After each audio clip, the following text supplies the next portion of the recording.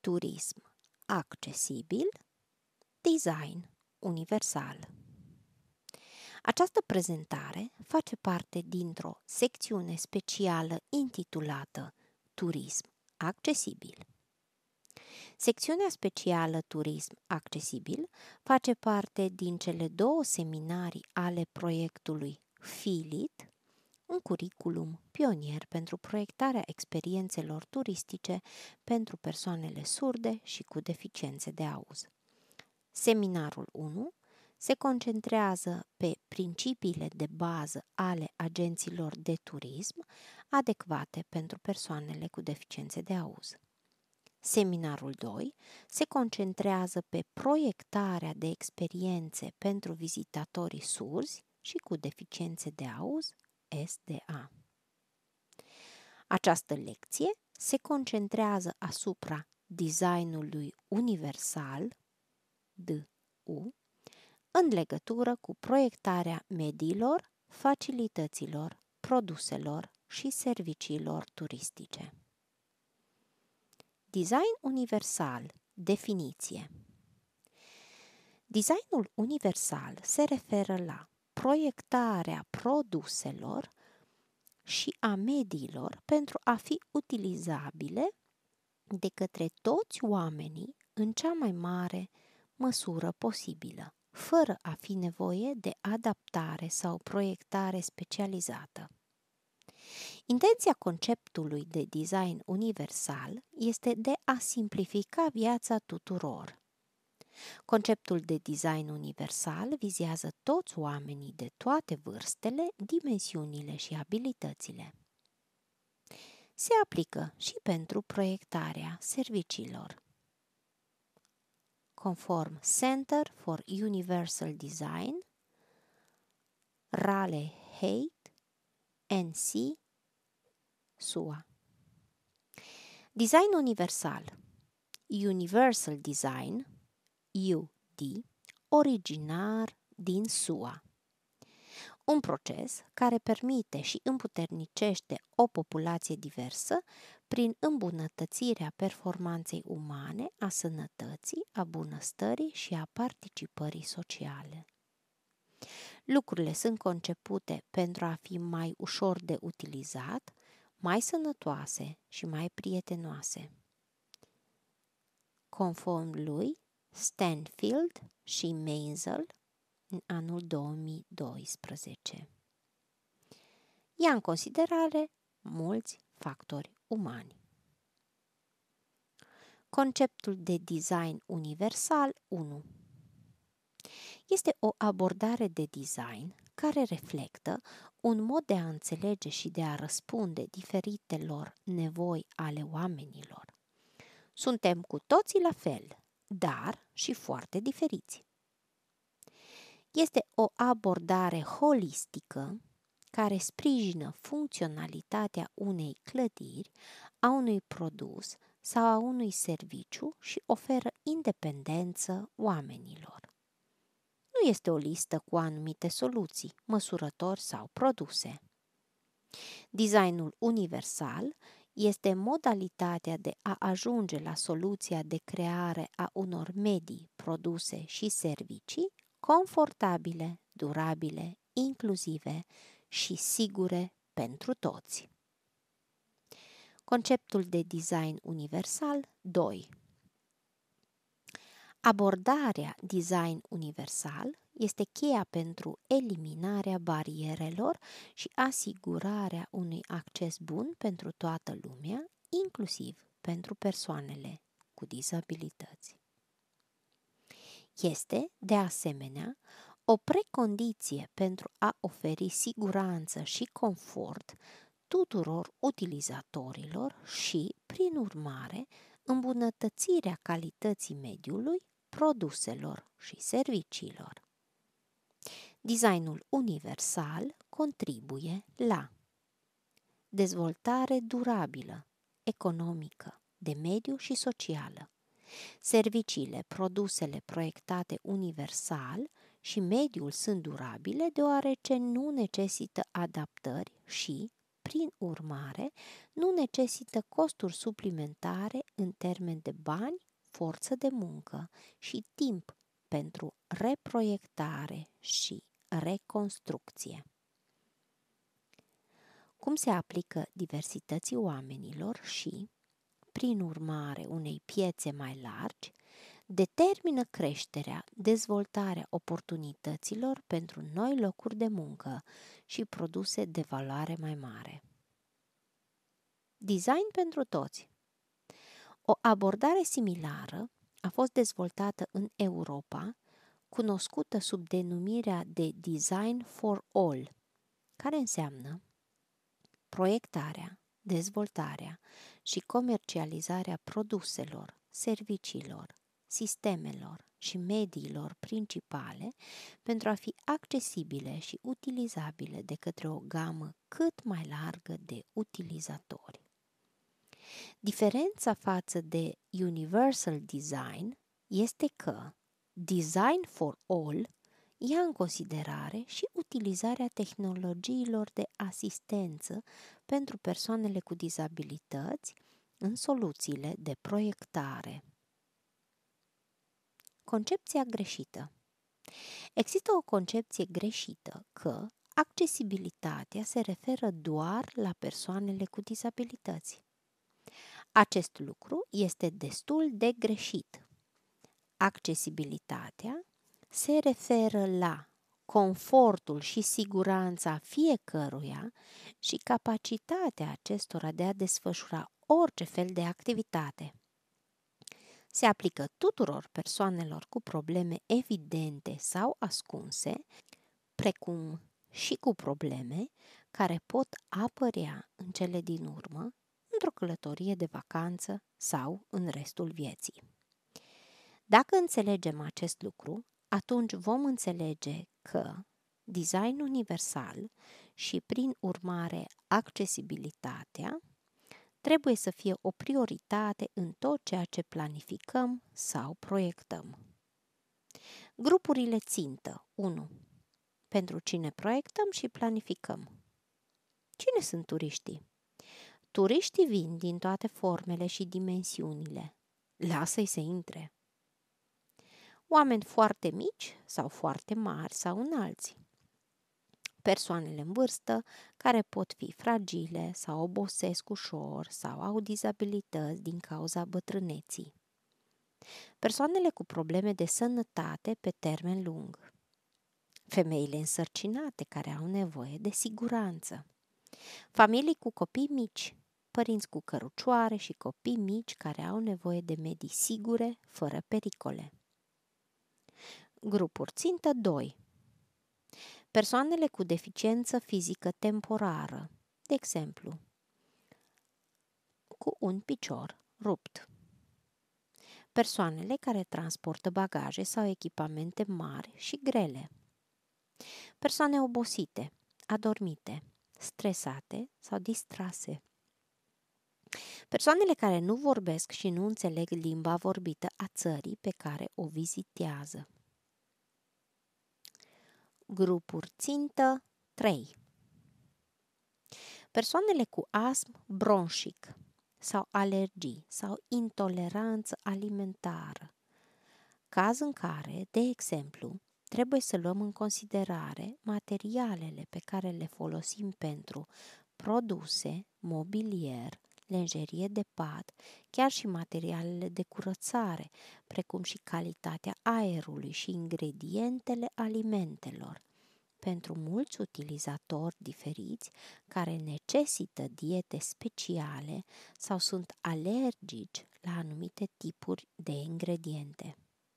Desigur, proiectăm pentru toate persoanele care au dizabilități sau deficiențe persoanele cu deficiențe de mobilitate care folosesc dispozitive de asistență, cum ar fi scaune cu rotile, scutere de mobilitate,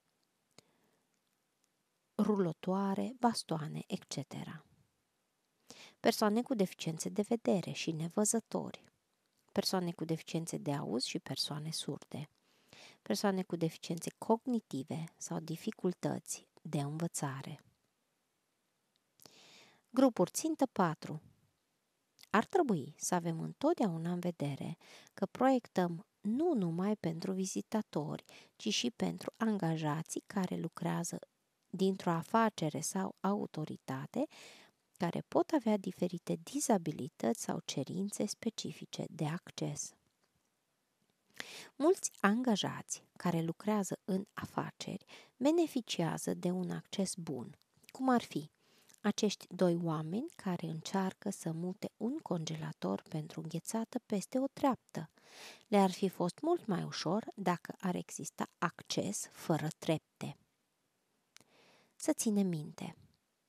Când proiectăm, ar trebui să ne amintim întotdeauna că 70% dintre dizabilități sunt invizibile.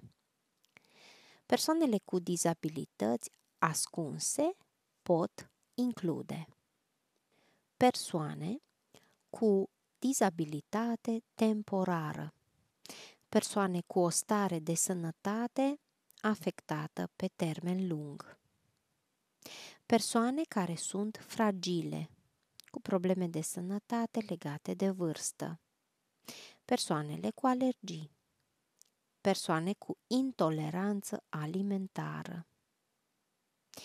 Designul bun permite.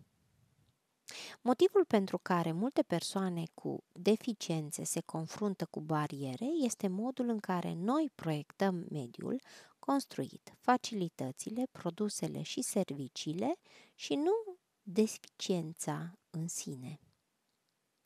Designul bun permite, în timp ce designul prost împiedică. Cele șapte principii ale designului universal. Conceptul de design universal se bazează pe șapte principii care sunt următoarele. Utilizare echitabilă. Designul este util și accesibil pentru persoanele cu abilități diverse. Aici prezentăm un exemplu de utilizare echitabilă, o ambarcațiune turistică care este proiectată pentru a fi ușor accesibilă și cu spațiu adecvat pentru pasagerii care folosesc un scaun cu rotile și, de asemenea, pentru orice alți pasageri. Toți pot merge împreună într-o plimbare cu barca. Flexibilitate în utilizare. Designul se adaptează la o gamă largă de preferințe și abilități individuale.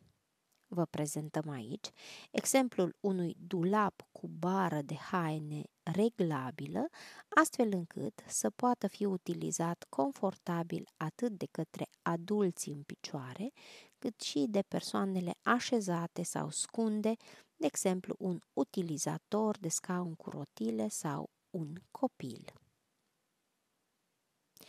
Cele șapte principii ale designului universal 2. Utilizare simplă și intuitivă. Utilizarea designului universal este ușor de înțeles, indiferent de experiența utilizatorului, cerințele, abilitățile lingvistice sau nivelul actual de concentrare. Vă prezentăm aici exemplul unui robinet care poate fi acționat simplu cu o singură mână și este de asemenea foarte ușor pentru toată lumea, precum acest copil să înțeleagă cum să-l folosească. Informații perceptibile, de exemplu, contrastul de culoare. Designul comunică informațiile necesare în mod eficient utilizatorului, indiferent de condițiile ambientale sau de abilitățile senzoriale ale utilizatorului. Aici vă prezentăm exemplul liftului cu butoane de control care sunt concepute pentru a furniza informații despre opriri în moduri alternative. În special, au numere cu contrast de culoare față de panou și informații în brai sunt iluminate și probabil că se aude și anunț de oprire pentru cei care nu văd. Cele șapte principii ale designului universal 3. Toleranță pentru eroare. Designul minimizează pericolele și consecințele adverse ale acțiunilor accidentale sau neintenționate. Aici arătăm exemplul unui panou mare de sticlă cu marcaje orizontale continue. Aceste marcaje nu sunt decorative, dar constau într-un avertisment pentru cei care ar putea să nu observe panoul mare de sticlă și să se ciocnească accidental de ușă, să se rănească. Acestea pot fi persoane cu deficiențe de vedere, altele care ar putea vorbi la telefon sau pur și simplu distrase sau ocupate. Efort fizic scăzut. Designul poate fi utilizat eficient și confortabil și cu un minim de oboseală. Vă prezentăm aici exemplul unei uși de intrare care poate fi acționată dintr-un buton lateral fără a necesita niciun efort fizic. Ar putea fi de asemenea o ușă complet automatizată. Acest design este destul de potrivit pentru o domnișoară cu un picior rupt și cârje care nu poate deschide ușa manual. Acest design avantajează mulți alți utilizatori, cum ar fi persoane fragile, persoane care folosesc un scan cu rotile sau alte mijloace de mobilitate și altele. Dimensiunea și spațiul pentru abordare și utilizare. Dimensiunea și spațiul sunt furnizate adecvat pentru abordare, atingere, manipulare și utilizare indiferent de dimensiunea corpului, postură sau mobilitatea utilizatorului. Aici arătăm exemplul unei chiuvete care este proiectată pentru a fi utilizată confortabil de către un utilizator de scaun cu rotile, cu spațiu liber adecvat în partea inferioară și spațiu pe podea pentru apropiere și cu adâncimea și înălțimea corespunzătoare deasupra nivelului podelei. Cele opt obiective ale designului universal 1. Împreună cu cele șapte principii, Opt obiective ale designului universal au fost dezvoltate ulterior de Steinfield și Maisel pentru a extinde și a evidenția impactul și importanța designului universal. Acestea sunt potrivire după corp, adaptarea unei game largi de dimensiuni și abilități corporale, confort, menținerea cerințelor în limitele dorite ale funcției corpului. Conștientizarea asigurarea faptului că informațiile critice pentru utilizare sunt ușor percepute. Înțelegere realizarea metodelor de operare și utilizare intuitive, clare și lipsite de ambiguitate. Cele opt obiective ale designului universal 2 Bunăstare Contribuția la promovarea sănătății, evitarea bolilor și prevenirea rănilor.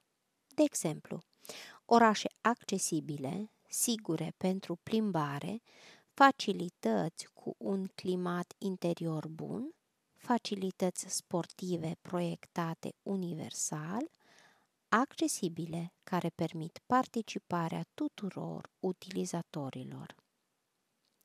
Integrare socială tratarea tuturor grupurilor cu demnitate și respect. Personalizare incorporarea oportunităților de alegere și de exprimare a preferințelor individuale. Adecvarea culturală, respectarea și consolidarea valorilor culturale în contextul mediului social, al oricărui design. Design universal, bun simț. În cele din urmă, putem spune că proiectarea mediilor, produselor și serviciilor pentru a fi utilizabile de către toți oamenii, în practică înseamnă pur și simplu a avea bun simț. Dar, din păcate, bunul simț nu este atât de comun. Bunul simț nu este atât de comun 1. Să vedem câteva exemple. În unele cazuri vedem un loc de parcare accesibil desemnat, marcat și cu simbolul internațional al accesibilității, dar cu un copac în picioare în mijlocul spațiului. O rampă care oferă acces la o clădire, dar din nou cu un copac în picioare în mijlocul rampei. Foarte bine pentru mediu pentru a salva copacii, dar în acest caz pare să nu fie cea mai bună idee. Bunul simț nu este atât de comun. 2. Un bancomat plasat atât de sus pe perete, la care este imposibil de ajuns. O ușă îngustă face imposibil pentru locuitori să mute o canapea mare. Un utilizator de scaun cu rotile ar putea avea de asemenea aceeași problemă la trecerea prin acea ușă îngustă. Design universal și lanțul de aprovizionare pentru turism accesibil. Un lanț este la fel de puternic ca veriga cea mai slabă. Pentru o experiență turistică plăcută pentru toată lumea, toate verigile lanțului de aprovizionare trebuie să fie proiectate universal pentru a oferi un acces bun, confort și siguranță pentru vizitatori. Dacă un link, o parte a experienței nu este accesibilă, întreaga călătorie va fi distrusă. Aici vedeți câteva dintre verigile de lanț ale călătoriei vizitatorilor și ale lanțului de aprovizionare. Informații pentru rezervare și sosire la destinație, transport local, dormit și mâncare, cazare și restaurante, atracții cumpărături. Dar dacă una dintre legături este ruptă, nefiind accesibilă, informațiile sau atracțiile, de exemplu, după cum vedeți în model, întreaga călătorie și experiență ar putea fi distruse. Design universal, câteva exemple de bune practici. Aplicat în diferite zone, părți ale lanțului de aprovizionare, unele zone cheie sunt prezentate aici. Spații publice, facilități de cazare, muzee și situri arheologice, plaje, transport public. Acces în zone publice. O promenadă în oraș, cu un trotuar spațios, neted și plan, potrivit pentru ca toți să-l viziteze și să se bucure de întâlnirea cu prietenii, mersul pe jos, deplasarea sau mersul cu bicicleta. Zona în aer liber de la Versailles de Paris. Imaginea prezintă pietrele originale cu care a fost pietruit, care au îngreunat deplasarea utilizatorilor de scaune cu rotile, a părinților cu cărucior pentru copii și chiar a femeilor cu tocuri înalte. Acestea sunt înlocuite cu pietre netezite, ceea ce face mai ușor pentru toată lumea să se deplaseze atunci când vizitează siteul, în special pentru cei care folosesc dispozitive de mobilitate. Acces pentru toți în plaje. În această plajă, covorașul albastru formează un traseu neted și stabil, oferind un acces bun și confortabil tuturor persoanelor cu dificultăți de mers, celor care folosesc scaunul cu rotile sau alt dispozitiv de mobilitate, părinții cu cărucior, persoanele care sosesc cu bicicleta, precum și pentru toți cei care nu vor să pună nisip în pantofi. Accesul în spații publice Un ghișeu cu informații și ecrane de joc în aeroportul Fiumicino din Roma. Teșgheaua este la două înălțimi deasupra nivelului podelei, astfel încât să fie ușor de utilizat atât de către adulți în picioare, cât și de persoanele așezate sau scunde și de copii. O scară cu balustradă dublă, la două înălțimi diferite, potrivită pentru adulți și copii. Cazare, hoteluri Câteva exemple bune pot fi găsite și în hoteluri, care sunt considerate facilități cheie în turism. Este foarte important de subliniat că hotelurile universale, bine proiectate, accesibile, pot fi foarte frumoase și plăcute din punct de vedere estetic. Accesibilitatea atunci când este aplicată corect, poate fi total invizibilă, rezultând un confort și siguranță mai ridicată pentru toată lumea. Aici vedem exemple de hoteluri cu intrări accesibile fără trepte, asigurând accesul și confortul tuturor vizitatorilor, fie cu deficiențe, fie că poartă bagaje grele și mari. Camerele spațioase cu aranjament adecvat de mobilier permit acces ușor și confort pentru toată lumea și nu numai pentru oaspeții care folosesc un scaun cu rotile. Cheile electronice fără atingere pentru uși sunt foarte des folosite în hoteluri.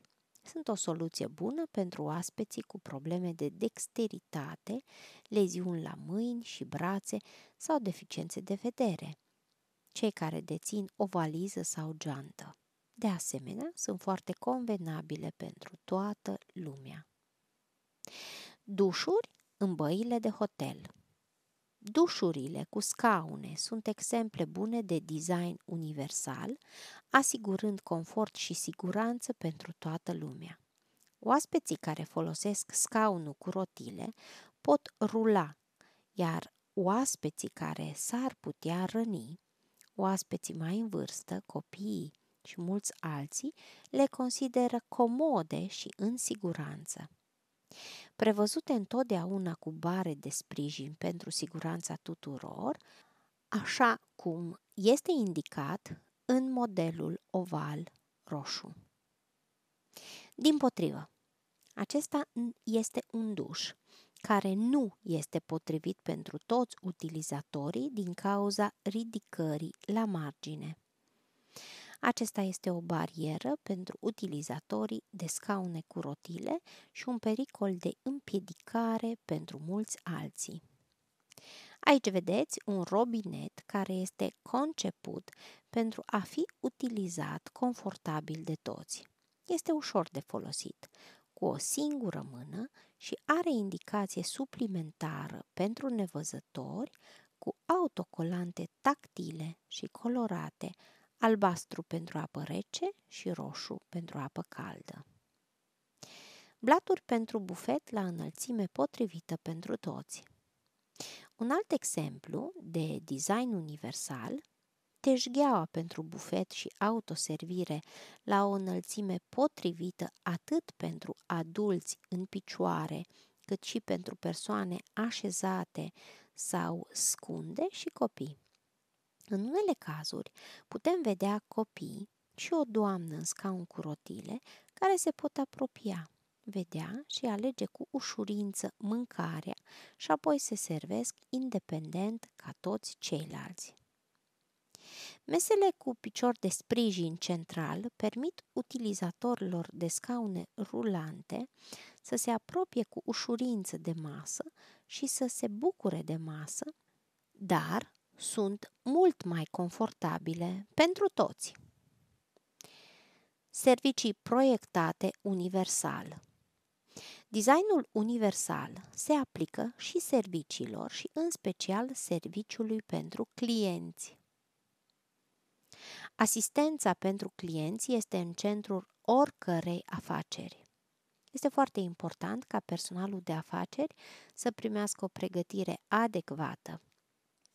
Amintiți-vă întotdeauna că persoanele cu dizabilități nu doresc produse speciale, dar le place să fie incluse în experiența consumatorilor de masă. Setul de instrumente ale designului universal pentru implicarea clienților în serviciile turistice. Autoritatea Națională Irlandeză pentru persoanele cu dizabilități a elaborat un set de instrumente de design universal pentru implicarea clienților în serviciile de turism cu cerințe și îndrumări pentru furnizorii de servicii turistice. Setul de instrumente prezintă îndrumări pentru producție video, comunicații față în față, comunicații telefonice, digitale și tipărite. Seturi de instrumente de design universal pentru implicarea clienților în serviciile turistice 2. Ghizii turistici profesioniști sunt instruiți să interpreteze moștenirea culturală și naturală a zonei în care sunt calificați să ghideze, inclusiv situri arheologice, muzee, monumente, orașe și parcuri. Ei acordă o atenție deosebită tehnicilor alternative de comunicare pentru o gamă mai largă de vizitatori. Ei pot folosi cuvinte, gesturi și imagini pentru a oferi un serviciu mai bun vizitatorilor care ar putea avea cerințe specifice de acces, cum ar fi dificultăți de învățare, lipsă de concentrare, deficiențe de auz. Unii ghizi turistici învață de asemenea să folosească limba semnelor pentru vizitatorii surzi. Oferirea de șanse egale și același model de calitate a serviciilor pentru toți 1. Un bun exemplu este noul serviciu cu comunicare în limba semnelor grecești pentru surzi și persoane cu deficiențe de auz oferit de DEI, The Greek Public Power Corporation, PPC. În timp ce toți ceilalți clienți pot efectua un apel telefonic și pot vorbi cu un reprezentant al serviciului pentru clienți, clienții surzi și cu deficiențe de auz au acum aceeași oportunități. Aceștia pot face o programare pentru un apel video cu un reprezentant specializat al serviciului pentru clienți, în prezența unui interpret care folosește limba semnelor grecești. Pentru cei care nu cunosc limba semnelor grecești, există posibilitatea subtitrării live a cuvintelor, reprezentantul PPC în limba greacă, cu recunoașterea unor termeni speciali în limba engleză, precum e-bill, day, dot, gr și kilowatt. Oferirea de șanse egale și același nivel de calitate a serviciilor tuturor. 2. Subtitrarea se bazează pe inteligența artificială de învățare automată cu scopul de îmbunătățire continuă. În plus, dacă cineva trebuie să trimită un document sau un mesaj, în timpul apelului video, poate face acest lucru prin intermediul funcției de chat a aplicației. DEI și-a reproiectat și site-ul și a adăugat un nou instrument automat de citire cu voce tare pentru toate textele site-ului pentru utilizatorii nevăzători sau cu deficiențe de vedere. Site-uri web accesibile proiectate universal Site-uri web care respectă ghidul de accesibilitate a conținutului web, urmând cele patru principii pentru proiectarea conținutului. Perceptibil, operabil, de înțeles, robust. Care sunt consecințele nerespectării principiilor designului universal? Calitatea mai scăzută a serviciilor pentru o gamă mai largă de vizitatori. Excluderea unor vizitatori din experiențele și ofertele turistice, reducerea rentabilității instituției, medii, servicii și soluții non-sustenabile, împiedică dezvoltarea necesitând adaptări, reproiectare, reconstruire și cheltuieli suplimentare. Ce trebuie făcut? Sectorul turismului trebuie să înțeleagă conceptele și principiile designului universal și să le aplice în practică. Conștientizarea și instruirea sunt absolut necesare. Designul universal va fi predat în întregul sistem de educație și actori din sectorul turismului. Factori de decizie, politicieni, profesori și dascăli, manageri, personalul din prima linie, designer de produse și web.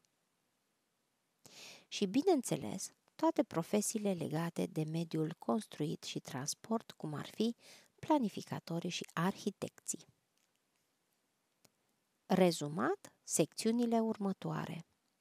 Rezumat. Această lecție s-a concentrat asupra designului universal în legătură cu proiectarea mediilor, facilităților, produselor și serviciilor turistice. Secțiunile următoare studiați restul prezentărilor care fac parte din secțiunea specială Turism accesibil. Referințe